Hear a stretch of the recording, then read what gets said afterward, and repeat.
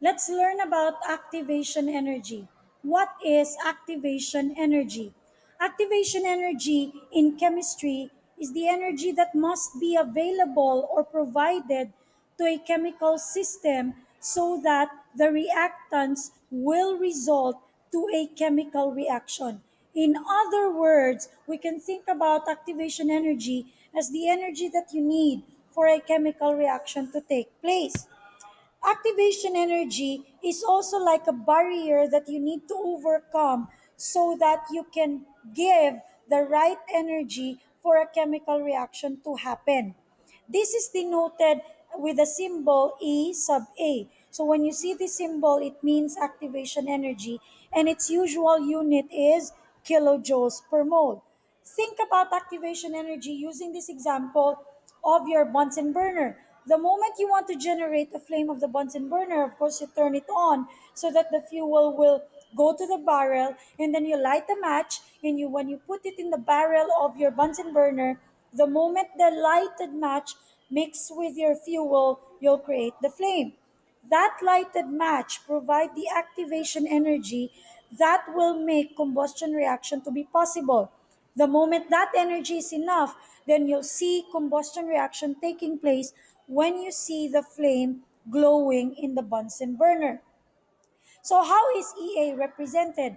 It's represented through an energy diagram. In an energy diagram, you see X to be the reaction progress, which is the unit time. So as you move from left to right, you see that the reaction is taking place over time. While the y-axis is your potential energy. Your potential energy as you go from top from bottom to top, the energy increases. So when you see the curve within the graph, you always begin with the initial energy of your reactants and then you move up until you reach a maximum energy requirement. And the moment this is reached by your substances, we call this the activated complex. The activated complex is when your reactants start to form the products of the reaction. Once activated complex is reached, the chemical reaction is taking place.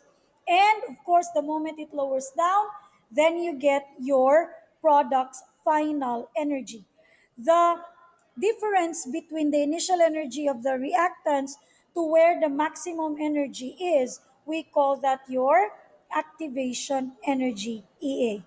So let's further analyze some energy diagrams of the two basic reactions, exothermic and endothermic reactions.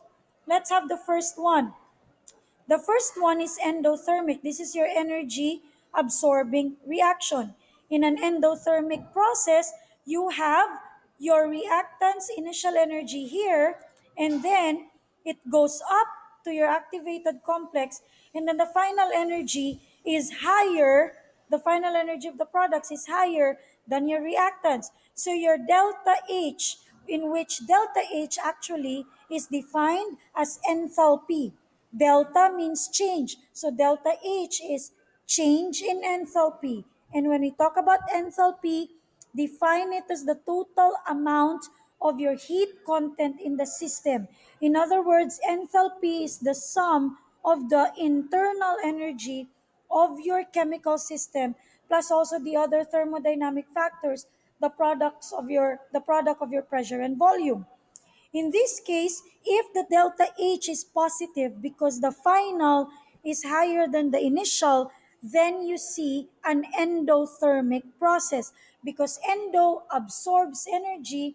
That means your final energy has to be higher than your initial energy. On the other hand, if we talk about exothermic process, exothermic process, the reactant's initial energy is higher than your product's final energy.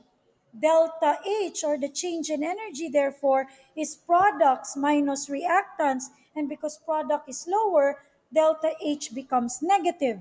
Because exothermic releases energy, therefore you would expect the difference to be negative. So if it's negative, it should be an energy releasing reaction which we call exothermic reaction.